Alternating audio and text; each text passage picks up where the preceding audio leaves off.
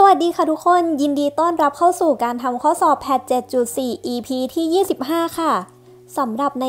ข้อนี้นะ ก็ยังให้เลือกคำศัพท์ที่เหมาะสมเนี่ย ลงไปเติมในประโยคนั่นเอง มาอ่านโจทย์กันดีกว่า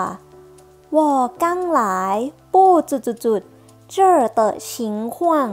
เสี่ยงชิงหนีเจียเฉาเจียเฉาอีกครั้งหนึ่งนะคะวอกั้งหลาย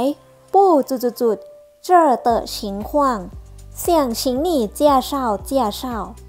แปลกันดีกว่า วอ แปลว่าฉัน กังนะคะ แปลว่า เพิ่งจะ กังอะไรเอ่ย กังหลาย กังหลายก็แปลว่า เพิ่งจะมา ฉันเพิ่งจะมา ปู้จุดจุดจุดไม่อะไรเอ่ย เจอเจอเตะฉิงขว้างถ้ามีเตะนะคะ ต้องแปลคำที่อยู่หลังเตะตัวนี้ก่อนเนาะ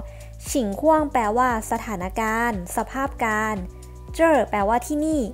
เจอเตะฉิงขว้างก็คือ สภาพการของที่นี่ ฉันเพิ่งจะมาไม่ไม่อะไรเอ่ย สภาพการของที่นี่ อ่ามาแปลวักหลัง เสี่ยงชิงหนี่เจียเช่าเจียเช่าเสี่ยงก็คืออยากจะ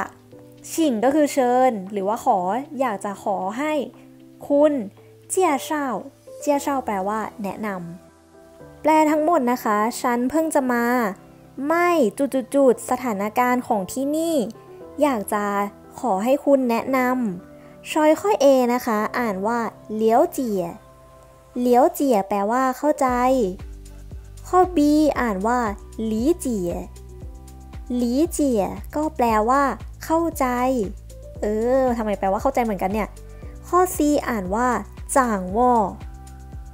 จ่างว่อแปลว่า ควบคุมดำเนินงานดำเนินกิจการ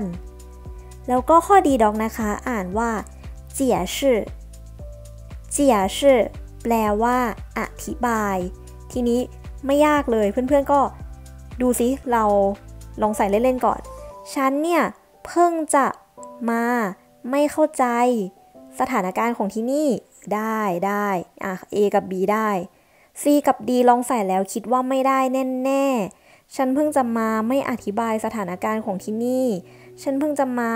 ไม่ควบคุมสถานการณ์ของที่นี่ ไม่ได้แน่นอนนะคะ เราจะตัด C กับ D ทิ้งเหลือ A กับ B ทีนี้ก็ต้องเข้าใจก่อนว่าเหลียวเจียกับหลีเจียเนี่ยต่างกันยังไง มันแปลว่าเข้าใจเหมือนกัน แต่ว่าความหมายในความคำว่าเข้าใจเนี่ยไม่เหมือนกันนะคะคำว่าเหลียวเจียเนี่ยจะแปลว่าเข้าใจ เข้าใจแบบรู้แจ้ง กระจ่างแจ้ง แต่ว่าคำว่าหลีเจียเนี่ยจะเป็นเข้าใจเหมือนเข้าอกเข้าใจ เหมือนเพื่อนๆนึกนึกออกไหมทุกคน เวลาเราเรียนกับคนจีนเขาสอนสอนไปเขาก็จะถามว่านี่เมินหมิงป่ายเลยมาชิงชูเลยมาเลี้ยวเจียเลยมา ก็คือเข้าใจแบบนั้นนะทุกคน เข้าใจในสิ่งที่เขาพูดไหม เข้าใจในสิ่งที่เขาอธิบายไหม ส่วนลีเจียเนี่ยจะเป็นเข้าใจแบบโอ้ยเธอ ฉันเข้าใจเธอนะ ฉันเห็นใจเธอนะ แบบนี้ค่ะ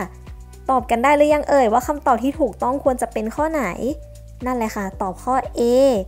我刚来，不了解这儿的情况，想请你介绍介绍。ฉันเพิ่งจะมา ไม่เข้าใจสถานการณ์ของที่นี่ อยากจะขอให้คุณช่วยแนะนำ และเพื่อนๆคนไหนที่เจอคำศัพท์คำไหนที่อ่านไม่ออก แปลไม่ได้ ก็ให้แคปหน้าจอนี้แล้วกลับไปท่องศัพท์กันเลยนะคะทุกคน ยิ่งเราจำศัพท์ได้มาก โอกาสในการตอบข้อสอบให้ถูกต้องก็จะยิ่งมีมากขึ้นค่ะ สู้ๆนะคะ แล้วเจอกันใหม่คลิปหน้าค่ะทุกคน บ๊ายบาย